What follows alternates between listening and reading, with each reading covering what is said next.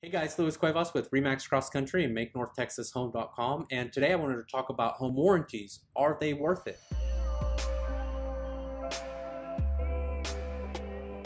If you don't know what a home warranty is, I do have another video that goes into full detail explaining it and I will go over it very briefly.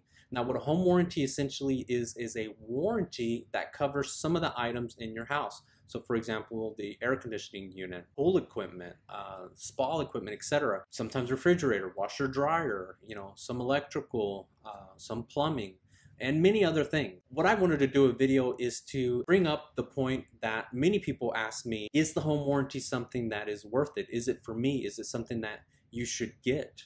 Uh, the reason I say that is because many buyers are opting not to get a home warranty in order to be a little bit more competitive because that's something normally that a seller would pay. And so they're doing that so that it looks a little bit more competitive and makes it easier on the seller's bottom line. So the question is, are they worth it?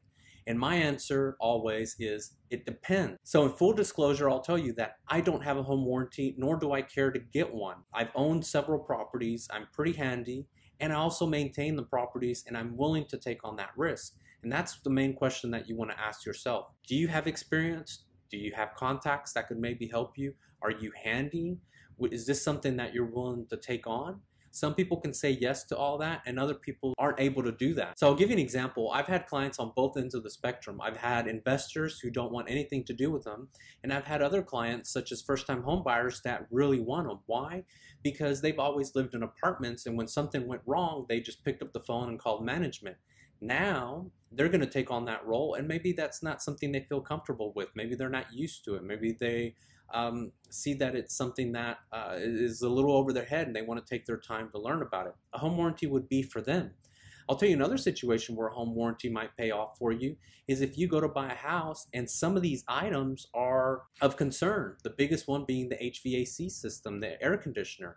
Maybe it's a little on the old side. Maybe you say, you know what, even though it's running good now, I'll just for peace of mind get that home warranty in case something happens.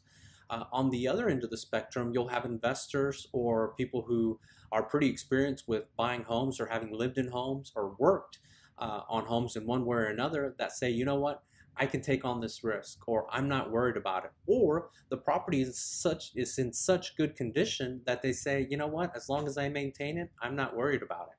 I'll self-insure, I'll take on that risk. So the question being, are home warranties worth it? And the answer is it depends. I don't have one. Some people opt not to get one, but I really see where a lot of folks it would benefit them to have one. It's all different for everybody. You just have to evaluate where you stand in that and make your decision. Hopefully this answered a few questions and maybe I brought up some good points, but if you have any questions or any comments, feel free to reach out to me. But again, thank you so much for watching this video. Now, hopefully you enjoyed this video, and if you want to see more, don't forget to uh, subscribe to my YouTube channel, which is Make North Texas Home, or you can check out more videos on my website, which is MakeNorthTexasHome.com. Thank you so much.